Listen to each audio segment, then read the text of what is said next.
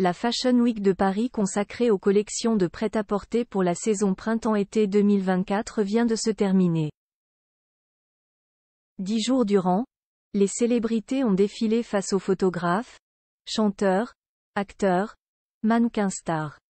Parmi les stars aperçues au premier rang, plusieurs représentants de familles royales se sont illustrés. Publicité Un duo tout en blondeur a fait sensation, celui formé par les princesses Maria Carolina et Maria Chiara de Bourbon et de Sicile.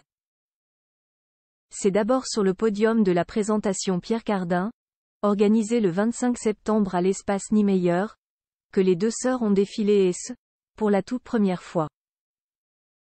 Les deux jeunes femmes de 20 et 18 ans ont ensuite pris part au défilé L'Oréal Paris organisé sous la Tour Eiffel, mais également au défilé Dior, non loin de la princesse héréditaire Cléopatra de Tingen-Spielberg, mais aussi de Victoria Federica de Maréchal Borbonne, la fille de l'infante Helena d'Espagne et donc nièce du roi Felipe VI.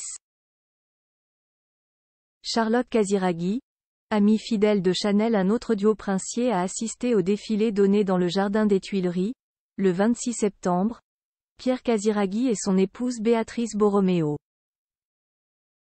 La présence des amoureux n'avait rien de surprenant puisque la belle italienne est une ambassadrice de la maison depuis déjà plusieurs saisons. Elle n'est pas la seule du côté de la famille princière de Monaco à prendre part à la Fashion Week.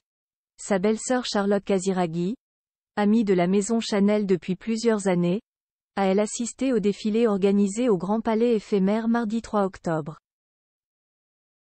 Avant même le coup d'envoi de la Fashion Week parisienne, la princesse Maria Olympia de Grèce s'était elle illustrée lors du défilé Gucci présenté à Milan le 22 septembre.